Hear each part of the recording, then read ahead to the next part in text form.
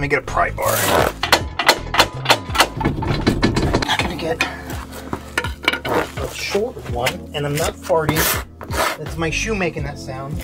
Oh, fuck. This thing looks awesome. It does. I wonder if you're gonna get pulled for. I guess it really Probably. where you are, and whether or not you can drive this down the street. Like, what- you can Yeah, have the bike. it's got the VSKFs. Those are annoying, but what Yeah. do you do with this? Do you have to remove like the top police light? no. Like, can you even have something that looks like a police? Because this looks that might really be like a police. state by state kind of thing. There's no blue Yeah. on it, but there is forward facing red, and that's a problem. Yeah. But maybe because it's a classic, you can get around that kind of stuff in certain places. I don't know. Yeah. But really, this is this is for you're really into um, the Japanese car scene in America. if you're driving this fucking thing, You're really into the superior culture. as on air.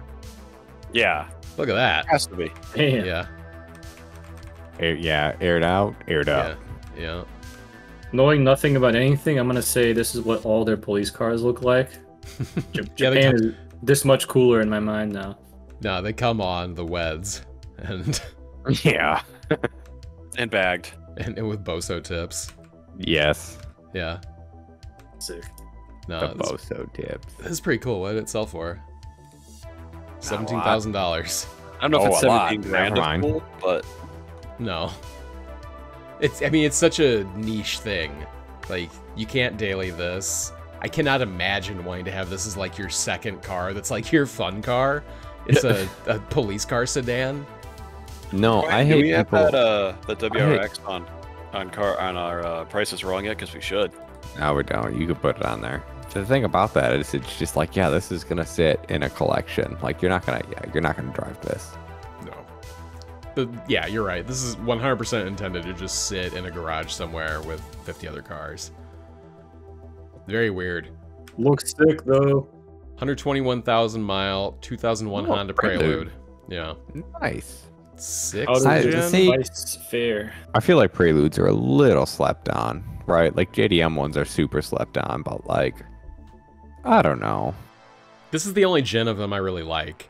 Um, Yeah, I'd agree with that. The one before this with the the big goofy like Accord tail lights and like the angry face. That one's not very much. That's the one I just don't do it. Aren't the JDM front ends different than these ones? Um, Can't remember. I don't I think so. No idea to be honest with you. I think they all just look like this. I like them a lot, but they are a bitch to find. 9800 bucks for this one seems like a pretty good deal. It's not a Type SH or No, but SH it's type or whatever the hell it is. it's Like, clean. It I guess if I liked them a lot, I would know a little bit more about them. But I, I Yeah. do, I do think these are cool. Yeah, um, knowing what I know about cars, this one looks clean. It looks straight. It looks mm, taken care of. Yeah, it looks good. I don't like this more than a Celica GTS though. No, I don't either. If you're doing front wheel drive to front wheel drive, I would I would take Yeah. a 7G Celica GTS all Oh day. yeah, yeah. But 9800 bucks for this, not bad. It is a base model, but I'm like 99% certain that the only real difference between this and an SH is the sh- the struts and maybe the springs. Didn't the SH have four wheel steering? Not in this generation. Okay. Yeah, no, they uh they had four wheel steering probably like two generations before this. Is four wheel steering just a meme? Like- yeah. On this car, it was pretty much just for like tight like maneuvering and parking lots and stuff. I don't think it was really for performance on the Prelude ever. It was like hydraulic too. I know of no like road racing that uses four wheels steering. Car. Lots of Nissans in the 90s had it. yeah. Um, I know the G37 actually had it on like the Grand Touring version. So I don't know how much of a meme it is. I mean, they keep making it. I feel like it's just like a marketing thing. I mean, I've seen it on like and driven it on full size trucks, and that's godsend. If It you would- want to drive Yeah. it. On on like four x four and stuff, I can that makes a ton of sense. I'd say. I'm pretty sure every generation of Skyline up until the GTR has it also. And by the GTR, I'm talking about the R35. Like the R32 through 34 all had four wheel steering as either an option or standard. I'm not sure. This is all kind of Netgear wheelhouse stuff. Like one of the things you see in like sports cars like that is they tend to be you know race bred, particularly for like the big brands, you know like Nissan or whatever. Hmm. But like the race versions of them never ever ever use four wheel steering. You something like actual seen. race cars, like Yeah, yeah, yeah. Like you have those the race cars that sell the consumer cars, and then they put shit like that in the consumer car that is never actually raced with marketing. I mean, this has the acoustic feedback system. Is that just marketing jargon? I don't think so. Acoustic feedback, as in the speakers put out sound. Yeah. That's wild. Mine just squirt water all over the car. That's what they're supposed to do. Thanks, Volkswagen. Ugh. Nasty. I love my VW. What VW do you have? Uh, Yeah. Jetta GLI. You got any pics, dog? No, don't show us pics. Can we Google some pics? You can Google some pics. Like that. Yeah, but not terrible like that. That's not even hella Mm, flush, that's man. There's a not cap. hella flush. Wow. Get out of here. Fuck. This is what I want. Yeah. Now we're talking. Why are they all terrible? Jesus. Now this is what you drive. This is, hella flush. Okay, this that's is why. your life. This is what you drive. it says, why are they all terrible? Yeah, this is yeah. You bought a This guy- VW. You signed up for this life, man. Okay, that's cool. Is that Corrado or Scirocco? Sure. Sriracha. Corrado. How about a Model 3? How about One no? Owner, Performance. Highly modified. What's with the what's a Tesla Corsa? I'm sure that we are looking at a LARPer. What uh, what's Doug's take on this? That's a good question. Oh, Uh, Somebody in the Discord said, or maybe it was on Reddit, they said that he doesn't actually write the takes. He said on Smoking Tire podcast that he has uh, his staff do it now. Don't tell me that, So Don't break my immersion, bro. Bro. yeah, I know Wait, it really does even, break the not immersion. even Doug's take then. I don't. Yeah, this guy's picture right there. It's bullshit. You're telling me he doesn't sit there 30 hours a day writing these things. I absolutely adore the Model 3, and this particular example really has a lot going for it, as it's a one owner car that's been California kept since new, and it touts a host of cool modifications, including lowering springs and larger wheels, carbon fiber exterior bits, a multifunction instrument panel display, display underglow lighting, and much more. Its performance designation means it's means it boasts considerable performance and speed over the base Model 3, and kudos to the seller for some great photos. It also touts a clean, accident free Carfax report, which further enhances the appeal. Imagine your job is to be Doug in in this website. Imagine your job is to defame and just shame Doug by making him say that he loves garbage all day. All the garbage that gets posted. But He you has know to what put Doug his loves name more? behind everything. You know what Doug loves more than defaming his name? Money. Money. Got him. Check engine. Got his ass. Got him. This person. Change the channel. All right. oh wait, hold up. He's actually tracking Oh. it. It's photoshopped. Just close it. Nope. you're right. Pick 'em. Sli- slightly Hold left hook. In a Miata, completely stock. It's got the hard top, so that's something. 82. That sounds like Yeah, Let's look decent. the pictures. That sounds yeah. low Isn't for that that. Over Yeah, eighty-two hundred bucks. And Like, it's a manual. Only had forty-six thousand. Let's see what's wrong with it. miles. Scroll through the pics. It take off fifteen hundred for the uh, the top. Oh, okay. There we go.